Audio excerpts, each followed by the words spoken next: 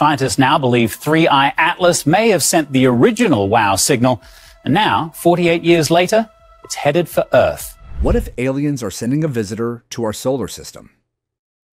As the 3I/ATLAS is approaching Earth and meant to reach our planet by December, scientists like Avi Loeb, the Harvard astrophysicist, are giving a serious warning about what this might mean for our planet. Professor Loeb wasn't finished. He went on to talk about a Manhattan sized interstellar object. He's been on the show talking about it a lot. It's called 3I Atlas. Is this simply an interstellar visitor passing through, or a mothership from an alien civilization? On uh, it will be closest to Earth actually on December 19th, uh, which is just the week before uh, Christmas. Uh, I hope it will not uh, ruin any um, uh, holiday um, events. 3I slash AT LAS trajectory goes towards Earth. When a visitor from another star system drifted into our solar neighborhood, it raised a lot of questions among scientists. 3I slash A T LAS is another traveler and the third interstellar visitor that scientists have noticed. It is a comet like body on a hyperbolic path, meaning that it came in from far beyond our solar system and will leave again, never to return. From the moment scientists discovered the Atlas in July 2025, they've been watching it and were shocked when they realized that it is approaching Earth. It has charted a journey that carries it past the Sun, near the orbits of Mars and Venus, and then towards Earth. But its strange movement seems more like a probe collecting information on different planets, and now it's coming towards Earth. In late October 2025, 3I/ATLAS reached its perihelion, which is the closest point to the Sun. This is at about 1.4 astronomical units, AU, roughly 130 million miles. At this point, it made its swiftest passage, speeding under the Sun's gravitational influence, and then started the outward leg of its journey. Before and after this sun swing, it passed relatively near to Mars, making it easy for scientists to observe it. From that apex, it is now moving away from the Sun, and as it does so, the path it takes brings it toward the general region of Earth's orbit. Although it's not close enough to raise an alarm, scientists are expecting that Atlas will reach its closest point to Earth on the 19th of December, 2025. Many are looking forward to this date because they wonder what this would mean for our planet. When the Atlas comes towards Earth, it would lie at about 1.8 astronomical units away from our planet, which is equal to about 270 million kilometers, or 167 million miles. At that distance, the ATLAS will be more than 600 times the distance between Earth and the Moon. So, the ATLAS is still in the realm of deep space visitors and won't directly affect Earth. Still, that doesn't mean there's nothing strange about this interstellar visitor, which seems to be monitoring our solar system. Atlas has a hyperbolic orbit, and so it won't be captured by the Sun's gravity. It came at high speed and is expected to leave at high speed too, slipping back into the interstellar void. The shape of its path through our system means that it will cross the ecliptic, which is the general plane of planetary orbits, at a steep angle. What does this mean for our planet? And will the ATLAS give us any surprises? Well, one of the leading scientists from Harvard, Avi Loeb, disagrees with what scientists are saying about how harmless the ATLAS might be. Avi Loeb Mothership Theory 3I slash ATLAS has stirred a lot of wonder and unease in the scientific community. Ever since it was detected in July 2025, experts have been watching its trajectory, fearing that it would come too close to Earth. In the midst of this celestial drama, astrophysicist Avi Loeb has advanced a provocative possibility that asks, what if 3I slash A TLAS is not a comet, but an enormous mothership dispatched by an intelligent extraterrestrial civilization. In his explanations, Loeb talked about this scenario in which this strange object is using the sun's gravity to execute what is known in astronautics as an Oberth maneuver. That happens when a spacecraft is accelerating or decelerating when it is moving fastest near perihelion, thereby gaining or shedding energy efficiently. Loeb says that the timing of ATLAS's passing is telling. The object will approach its perihelion on October 29th, just as it passes out of view behind the Sun from Earth's vantage. He says that this blind spot might just give the object an opportunity to carry out a discreet maneuver. According to Loeb, Atlas will release smaller probes directed towards the solar system's planets, including Earth, before it continues out of our system. He also says that Atlas truly is a mothership, and that the mini probes would be sent when the main vehicle is at its maximum speed, leveraging the gravitational assist of the Sun for greatest effect. Loeb's hypothesis is only speculative, but it's hard not to suspect that ATLAS is strange. Loeb is calling this a black swan scenario which is highly unlikely, yet of enormous importance if it turns out to be true. Although the simplest explanation is that the object is a natural interstellar comet, ignoring the possibility of technology simply because it seems like it won't happen would be poor science. Another piece of evidence that Loeb pointed out is the trajectory of the ATLAS. It seems to be traveling in a path that brings it close to the orbits of Mars, Venus, and Jupiter. It's also going to pass by Earth, although not as close. These alignments are pretty rare for a natural interstellar object, and it's raising questions.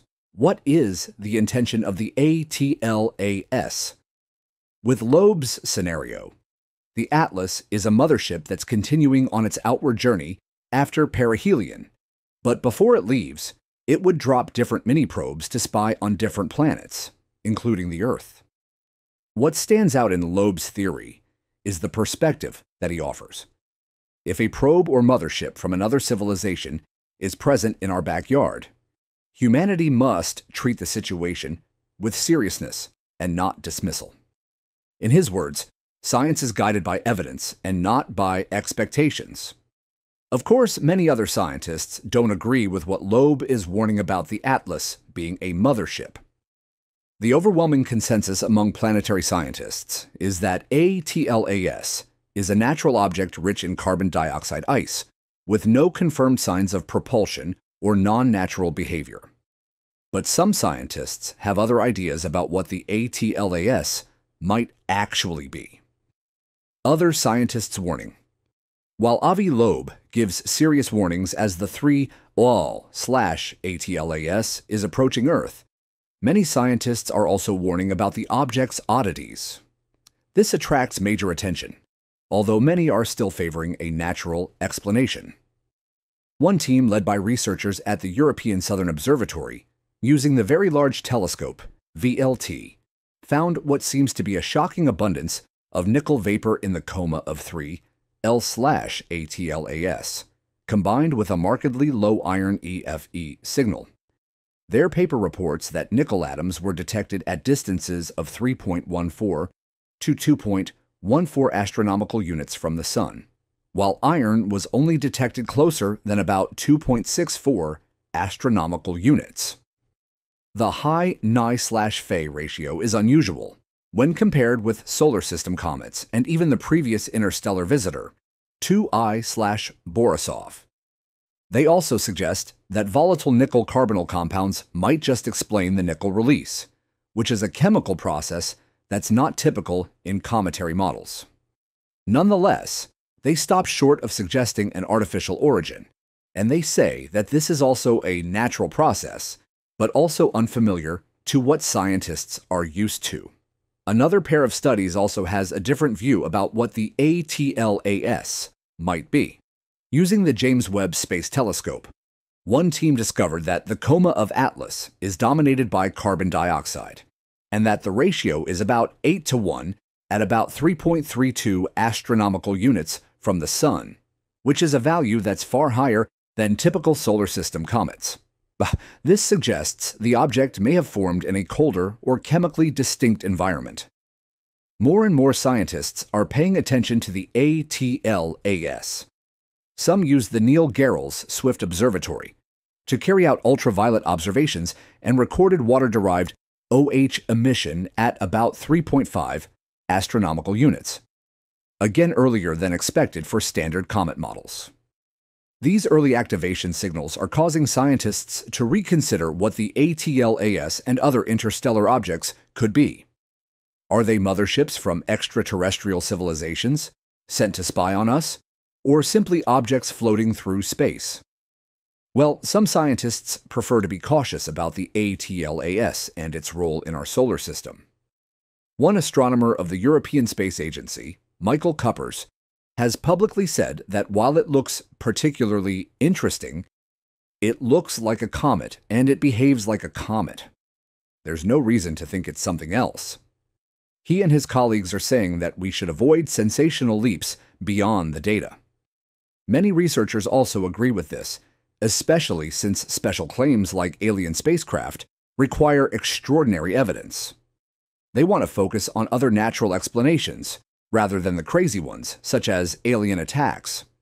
Still, these scientists are saying that ATLAS needs to be watched closely. Its trajectory and unusual composition make it one of the strangest small bodies ever observed entering our neighborhood. They have noticed several anomalies and oddities of the ATLAS object. Anomalies and oddities. One of the reasons why the Atlas object is attracting a lot of attention from the scientific community is the interstellar origin and hyperbolic trajectory. It's an object that entered our solar system, and it will exit again instead of being bound to the Sun. Its high inbound velocity and path mean that it's an object that doesn't come from our star's family. Even if this fact alone is already remarkable, what is causing many experts to raise eyebrows is how it's moving through the solar system and seems to be spying on other planets. Another strange feature of the ATLAS is the high ratio of carbon dioxide to water in the coma. Using the James Webb Space Telescope, researchers have discovered that there is a mixing ratio of about 8 to 1 at a heliocentric distance of about 3.32 astronomical units, among the highest ever recorded for a comet. Combined with UV observations of water byproduct, OH emission, at a distance where water ice sublimation is normally inefficient, as this suggests that it has unusual volatile behavior. This implies that the ATLAS is formed under very different conditions, or it has had a very strange history as it went through evolution over the years. For instance, one study argues that galactic cosmic rays may have processed the outer layers of its nucleus, altering the volatile inventory. Beyond the chemistry of ices, there's something stranger in the metals and dust behavior of the Atlas. After scientists carried out spectra and coma studies, they found out that it has unusually high nickel abundance in the absence of iron in proportions that are way different from other solar system comets. Additionally, 3I slash ATLAS exhibits strong outgassing and dust emission at large distances from the Sun, where typical comets become far less active, which further challenges standard models of cometary activation. But perhaps the strangest behavior is the timing and geometry of ATLAS as it passes through the solar system. Its perihelion happened on 29th of October 2025 just after it emerged from behind the Sun from Earth's perspective. And then it is expected to pass by Earth by December 19th. Its path brings it quite close to the orbital planes of Mars, Earth, and other planets, and this doesn't seem like a random trajectory. Instead, it looks like it was planned, and scientists like Avi Loeb say that this is finely tuned. When looking at all the strange features of the ATLAS, researchers still want to stick to natural explanations instead of going beyond, like Loeb. There's no doubt that the interstellar origin, unusual chemistry, dust and grain behavior, and trajectory alignment make this one of the most intriguing small bodies that we have ever studied. They challenge our understanding of how comet like objects can form, evolve, and behave in environments outside our solar system, and they highlight the need for further observation, especially post perihelion when more data may become available. Now, scientists are waiting to see what will happen when the ATLAS finally passes Earth this December, just a week before Christmas. Is this really a mothership that's spying on our solar system and our planet? And will this keep the Earth in trouble? Let's know your thoughts in the comments. So, thanks for watching this video, and we will see you in the next one.